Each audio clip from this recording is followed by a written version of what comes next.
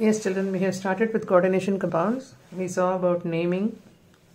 The next topic we will see today that is isomerism. Now, isomerism of coordination compounds it is basically of two types: structural isomerism and stereoisomerism. And structural isomerism is further classified as linkage, ionization, coordination, and solvate or hydrate isomerism. So there are four kinds under structural. Under stereoisomerism, you have geometrical isomerism and optical isomerism. Now, under optical, you have the levorotatory isomer and dextrorotatory isomer. And under geometrical isomerism, you have two kinds cis trans isomerism and FAC MER isomerism. So, we are going to see all these things in detail now, right? Now, let us see the first one that is linkage. Linkage, the name itself is suggesting that something related to the linking of atoms. Now, what is that? Now, say for example, PTNH3 twice Cl NO2. Now, this is a ligand, this is a ligand, this is a ligand. But this NO2 is an ambidentate ligand. Now, what is an ambidentate ligand?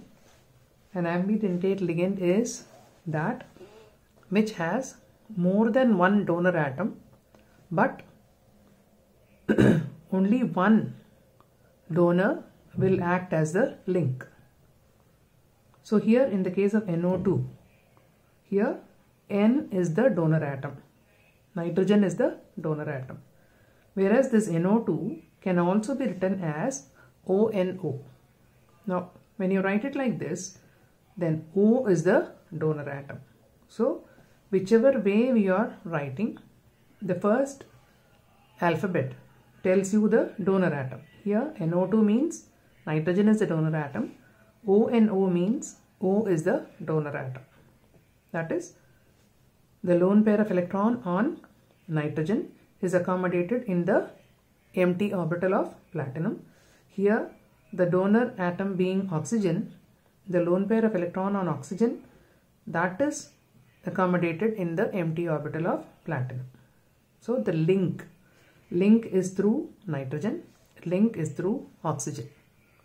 So this linkage isomers is generally found whenever a coordination complex is having an ambidentate ligand. Now another example is this SCN. This is thiocyanate. Now the corresponding isomeric form of this is isothiocyanate. Thio is used whenever you are having S. Now instead of S, if it is say CNO, this is cyanate. Then if it is NCO, then it is isocyanate. Whereas here it is thiocyanate and this is isothiocyanate.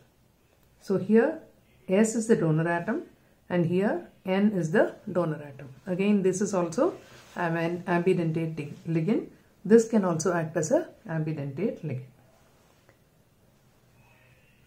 Now, so if they ask you to write the linkage isomer, whatever is given to you, identify the ambidentate ligand in that and then accordingly you make the isomeric form of that. Okay. Now come to the next one that is ionization isomers.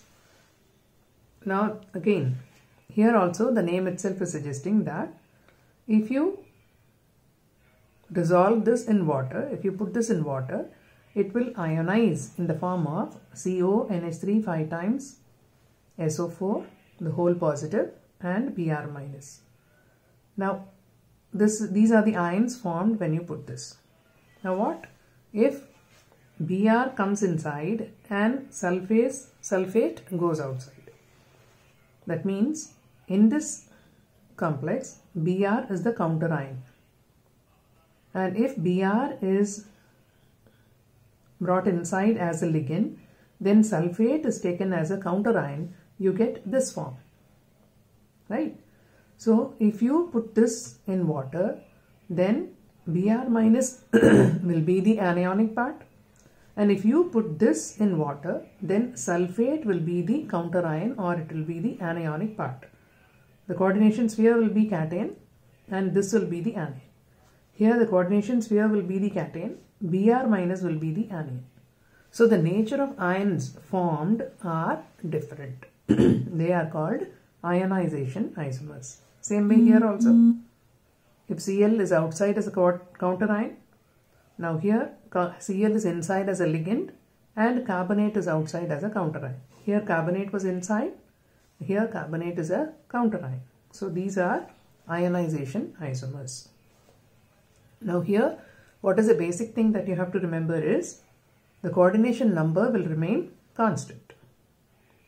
Okay, whether it is this or this, the coordination number, it is 5 plus 1, 6. Don't count this as a coordination number, sulfate is 1. So, the total number of coordinating ligands, they are 6 in number. Same way here also it is 6 in number. Okay, here also it is 6 in number. So, that will remain the same. Now, what are coordination isomers. Coordination isomers will have both cation and anion in the form of coordination spheres. CO NH3 6 times 3 plus, Cr Cn 6 times 3 minus. So both cation and anion they are in the form of coordination spheres. Now what will be the isomeric form of this? Isomeric form will be take the Cr here and CO here exchange the metal ion present inside the coordination sphere. Don't interchange the ligands. okay? Because when you write a particular formula, you will write the cationic form first followed by anion. So supposing if you change Cn and NH3, then what will happen? The anionic part will be represented first followed by cation which is wrong. You are not supposed to represent like this. So what you do, you interchange the metallic ion. CO, take it here. Cr, you bring it here. So that's how it is written. Cr, NH3 6 times, CO, Cn 6 times. So these are coordination isomers. Now come to solvate isomers. Now Cr, H2O 6 times Cl3 this is a complex. Now what I have done, I have taken one Cl inside and when I take it inside then coordination number will become 7. So take out one water out. So H2O 5 times Cl then यहाँ पे बचा कितना Cl2 and one water is outside so you get a monohydrate. Then you can take one more Cl inside and bring one more water outside and you get another solvate isomer Cl2 inside Cl dot 2H2O. Now look here the coordination number is preserved 4 plus 2 6 5 plus 1 6 here it is already 6. So this is very compulsory that you have to maintain the coordination number. now how will you identify whether a particular sample is an ionization isomer or not. Supposing you are given this and you have been asked to test it with AgNO3.